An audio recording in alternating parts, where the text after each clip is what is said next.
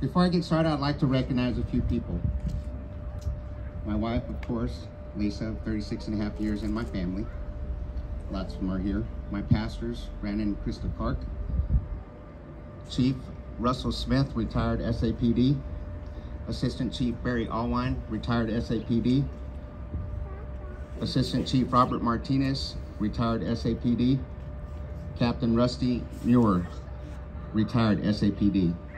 I'd also like to recognize my campaign manager and thank him for that introduction, Mr. Del Velasquez, and my advertising specialist, I believe he's hiding somewhere in the crowd, Stephen McLaughlin, and his staff. And of course, all of you, my, my friends, family, I, I love you guys. I would also like to thank the veterans whom I sought out their permission to announce on this day. Thank you for your service. I believe sincerely that I'm the right candidate to bring you the best San Angelo Police Department. I am Lieutenant Mike Hernandez, and I want to serve as your next chief of the San Angelo Police Department. I've been part of the SAPD for 33 years, and I have served in leadership roles for two decades. I'm happy to report that I'm just one of the many local officers who still takes pride in the calling. Just one of the many men and women who feel the honor, the privilege, and the duty of the public's trust. My experience gives me insight to identify need improvements within our department. My supplemental training and education give me effective plans for improvement. And my fellow officers' experience with me will give them the faith in my intentions.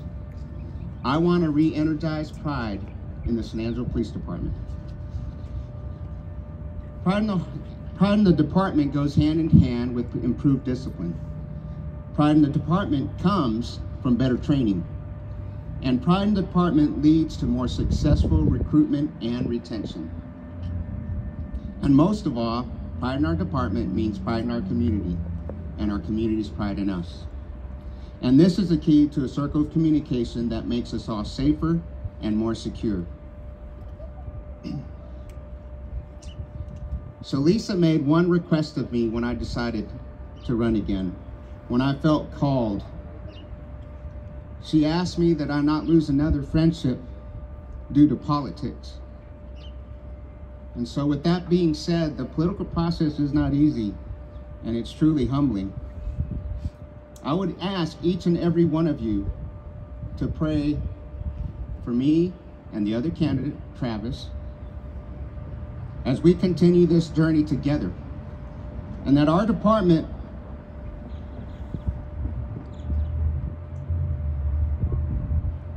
would not split and that we would remain united and not divided. Lift us, lift us up in prayers. We remain friends, and I truly believe, brothers in Christ, that we run a clean, respectable, and honorable campaign. As a former Marine, I would like to ask all of you to support, support me in paying our respects to those who have gone before us those that have served and are still serving by attending the Veterans Parade that starts here shortly in the downtown area. Thank you all for coming to support me, for your love, for your friendship, and certainly your prayers. Travis and I are gonna go, we're gonna need your prayers to get through this. And now if you'll excuse me, I gotta go get on a trailer. Thank y'all so much.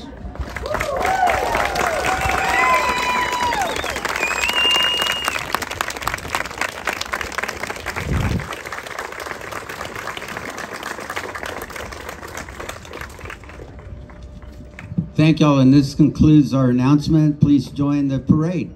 We'll see you.